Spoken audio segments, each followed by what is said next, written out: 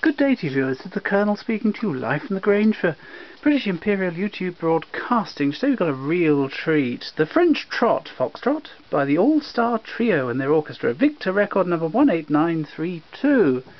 Here we go.